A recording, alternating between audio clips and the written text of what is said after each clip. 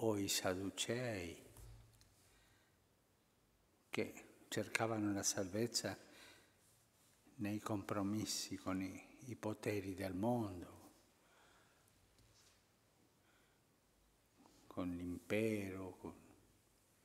e uni, uni con le cordate chiericali, l'altro con le cordate politiche e cercavano la salvezza così.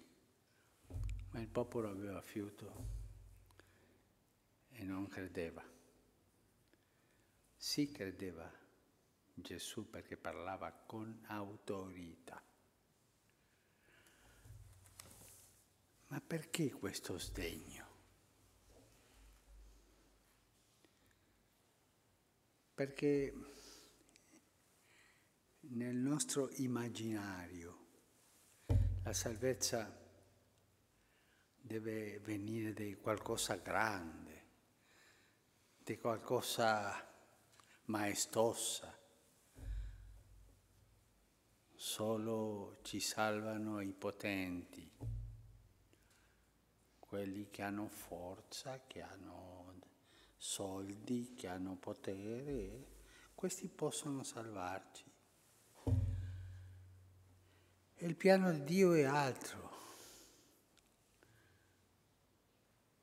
Si sdegnano perché non possono capire che la salvezza soltanto viene dal piccolo, della, dalla semplicità delle cose di Dio.